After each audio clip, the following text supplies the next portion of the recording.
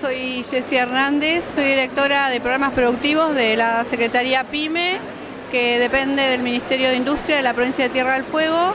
Vinimos a la Feria de Caminos y Sabores en este año por quinta vez y venimos con los productores que pertenecen al sello de calidad certificada Tierra del Fuego y algunos que están implementando productos que son originarios, como son la centolla, los ahumados, los mariscos, el queso de oveja, los chacinados ovinos. Este año trajimos artesanas. Estamos acompañados también por gente del Infuetur en esta tarea de divulgar y de dar a conocer nuestra provincia. Estamos en un stand que es un stand único donde agrupamos a todos los productores y se identifica la provincia con cada uno de los productos y hay una, digamos, una directa relación entre el lugar y el producto en sí mismo.